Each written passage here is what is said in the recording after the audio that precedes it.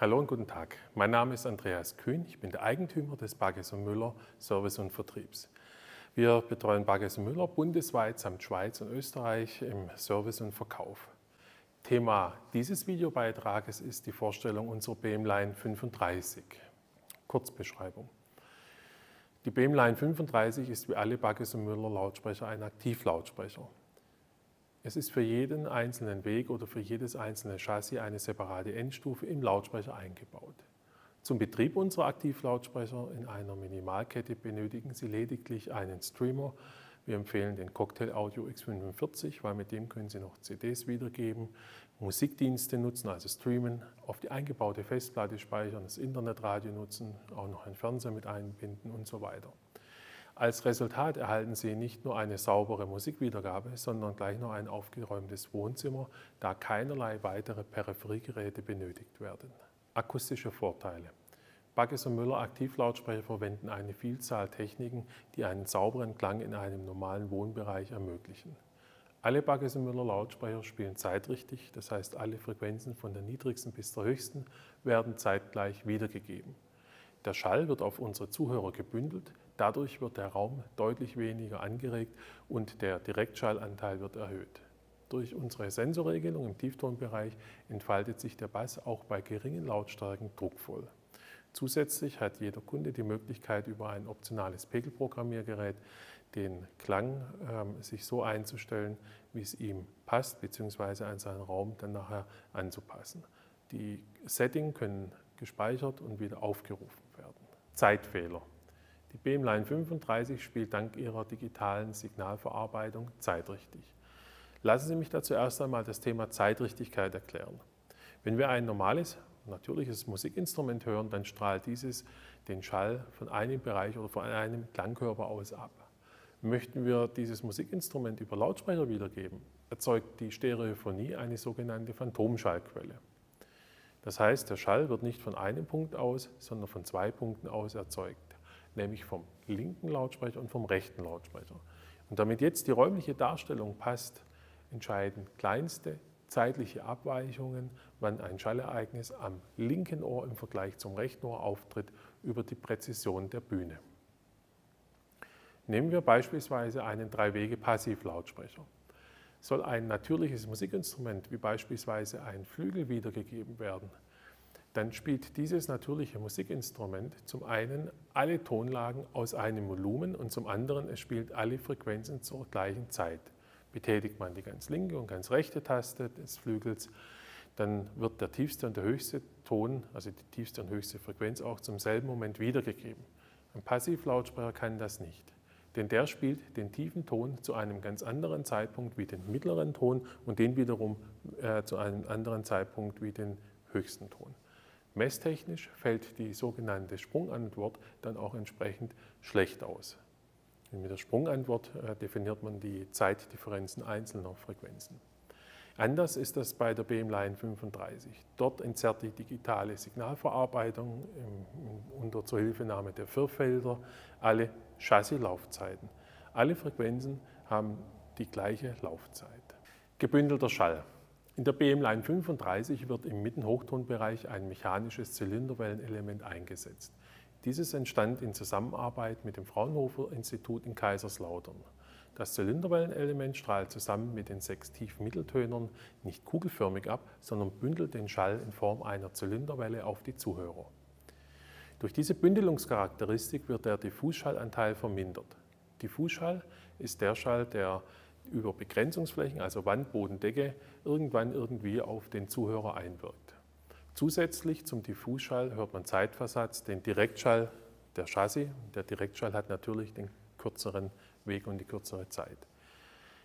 Durch die Schallbündelung bedeutet das, dass bei unseren Lautsprechern der Direktschallanteil erhöht wird und man dadurch weniger von seinem Aufstellplatz abhängig wird. Das ermöglicht übrigens auch in der Rubrik Kundenausstellungen eine ganz normale Platzierung der Lautsprecher in einem normalen Wohnumfeld.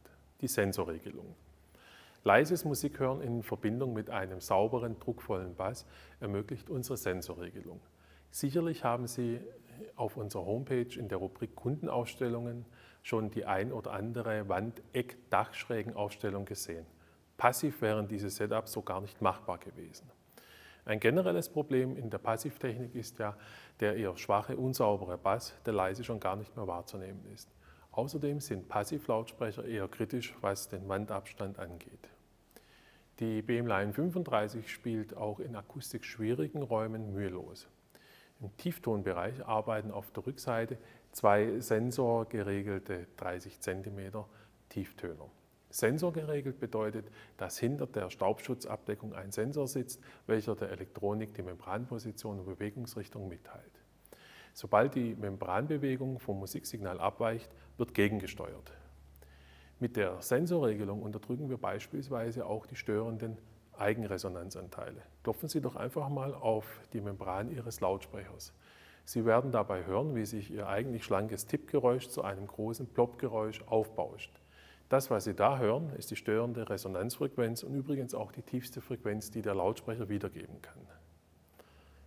Bei jeder Membranbewegung erzeugt eine, ein ungeregelter Tieftöner diese Resonanzanteile. Die sind aber sicherlich nicht Bestandteil des Musiksignals. Sie hören also immer diese Störgeräusche.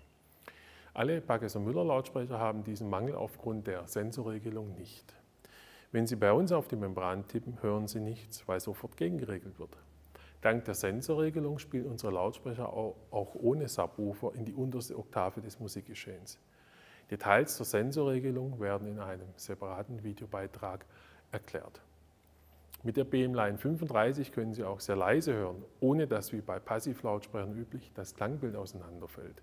Wir benötigen auch keine Grundlautstärke wie bei Passivlautsprecher, ähm, dass äh, wenigstens etwas Bass erzeugt wird. Einstellmöglichkeiten. Alle Bagges Müller Aktivlautsprecher haben umfangreiche Einstellmöglichkeiten. Die BM-Line 35 kann über ein optionales Pegelprogrammiergerät eingestellt werden. Bevor ich die Möglichkeiten im Einzelnen erläutere, äh, reden wir erst einmal über die Notwendigkeit der Einstellung. Unsere Zuhörer möchten ja so ehrlich so livehaftig, authentisch, wie es noch geht, Musik aus den Lautsprechern hören. Ähm, gleichzeitig gibt es in der Hi-Fi-Szene immer die Meinung, dass alles auf neutral stehen muss. Da muss ich widersprechen, es gibt kein neutral. Das ist bei einer Band, die live spielt, nicht anders. Wenn die Band in einem Stadion spielt, in einem kleinen Saal oder in einer großen Halle, wird für jede einzelne Location ein Soundcheck durchgeführt. Auf neutral steht am Mischpult da gar nichts. Unbestritten ist natürlich, dass ein Lautsprecher oder ein Verstärker alle Frequenzanteile von seiner niedrigsten bis zur höchsten gleich laut wiedergeben können muss. Das bedeutet aber noch lange nicht, dass der Lautsprecher dann bei Ihnen zu Hause auf neutral stehen muss. Zum einen benötigt unser Gehör im Leisen mehr Bass und mehr Höhenanteil. Zum anderen ist je nach Aufstellsituation mehr oder weniger Bass vorhanden. Wichtig sind ebenfalls die persönlichen Hörwünsche. Es gibt ja Leute, die wollen den Bass gar nicht hören, sondern spüren. Die möchten einen fetten, druckvollen Bass hören. Es gibt Leute, die möchten eher einen knackigen Bass haben oder Leute, die eher im Präsenzbereich unterwegs sind. Wenn Sie einen Lautsprecher haben, der keinerlei Einstellmöglichkeiten hat, dann haben Sie einen Kompromiss vorprogrammiert. Und aus diesem Grund können alle Backes und Müller Lautsprecher vom Kunden parametriert werden. Man kann verschiedene Filter setzen, beispielsweise können Frequenzen um 60 Hertz äh, eingestellt werden, die schmalbandige um 3 dB abgesenkt werden, äh, man kann sich eine Lautniskurve programmieren und so weiter. Verschiedene Settings können gespeichert und wieder aufgerufen werden. Mehr dazu in einem separaten Videobeitrag. Die Lautstärkeregelung. Alle unsere Bagges Müller Lautsprecher benutzen in Verbindung mit unserer BMIs-Vorstufe die sogenannte verlustfreie Lautstärkeregelung. Zu den analogen Zeiten hatte man einen Vorverstärker, welche die Signalgröße an deren Ausgang variiert haben. Bei leisen Musiklautstärken wurde das Signal reduziert und bei großen entsprechend vergrößert. Im heutigen digitalen Zeitalter, wo beispielsweise Streamer die Musikwiedergabe rein digital, also in Form von Bits und Bytes ausgeben, ändert sich die Art der Lautstärkeregelung. Die Höhe der Rechtecksignale hat keinen Einfluss auf die Lautstärke der Musikwiedergabe. Alle Mitbewerber nutzen zur Lautstärkeregelung die sogenannte ähm, Wortbreitenreduzierung. Da wird Ihnen also erst äh, High-Res-Material verkauft, äh, um das dann bei Zimmerlautstärke Wortbreiten reduziert mit 8 bis 10 Bit wiederzugeben. Klar, beim Passivlautsprecher, der systembedingt aus nicht in die unterste Oktave spielt, der Zeitfehler hat, der rundum strahlt hat, fehlt sowieso an Auflösung. Aber dann auch noch gerade im leisen Bereich, wo unser Gehör ja mit am empfindlichsten ist, da auch noch die ähm, Auflösung zu reduzieren, ist eigentlich recht schlecht. Wird die BM-Line 35 digital angesteuert, können Sie zwar die Lautstärke an unserer BM-Eis ändern, aber letzten Endes wird die Lautstärkeregelung im Lautsprecher passieren. Das heißt, alle analogen Endstufen im Lautsprecher werden im Gain also in der Verstärkung, gemeinsam verkleinert oder gemeinsam vergrößert. Und so umgehen wir die Wortbreitenreduzierung und fahren immer mit voller Wortbreite aus der BM1 in die Lautsprecher. Im Übrigen wird die verlustfreie Lautstärkenregelung auch im Analogbereich eingesetzt. Bei Zimmerlautstärke würde ein normaler Vorverstärker etwa 20 bis 40 Millivolt ausgeben. Der Wandler in der BM-Line 35 wandelt aus diesem sehr kleinen Signal äh, das Musik, die Musik. Wird die BM1 im Analogbetrieb angeschlossen, liegen dort etwa 10 Volt am Ausgang zum Lautsprecher an. Der Wandler kann dann aus der vollen Wandlerdynamik oder seine volle Wandlerbreite nutzen. Der erzielbare Signal-Rausspannungsabstand ist enorm. Akustisch bedeutet das ein volles, sattes Langbild, vor allem auch im leisen Abhörbereich. Chassisbestückung. Die BM-Line 35 ist auf der Rückseite mit zwei 30 cm Tieftönern bestückt. Die Tieftöner sind Bagges- und Müller-typisch einzeln sensorgeregelt und verfügen über einen Limiter. Im Tief-Mitteltonbereich werden sechs 17 cm Töner eingesetzt. Im Mittelhochtonbereich spielt unser mechanisches Zylinderwellenelement. Anschlüsse. Da alle Bagges und Müller Lautsprecher symmetrisch aufgebaut sind, verwenden wir ausschließlich Neutrik XLR-Buchsen. Problemlos können die Lautsprecher aber auch mittels Adapter an Cinch-Quellgeräte betrieben werden. Serienmäßig haben wir einen Analogeingang und einen Digitaleingang eingebaut. Über ein optionales DDC können im Gesamten drei digitale Quellen angeschlossen werden. Also Sie haben dann einen TOS-Link, einen äh, SPDIF-Eingang und nochmal einen AES-Eingang zur Verfügung. In diesem DDC-Interface werden die Signale aufbereitet, also reclockt, synchronisiert und dann zum Lautsprecher abgegeben. Taktraten von 192 kHz bis 24 Bit Wortbreite werden verarbeitet. Wenn Sie unsere Lautsprecherprobe hören möchten, besuchen Sie uns hier im Service Center Kornwestheim oder wir stellen Ihnen auch gerne ein paar BM-Line 35 für ein paar Tage bei Ihnen zu Hause auf.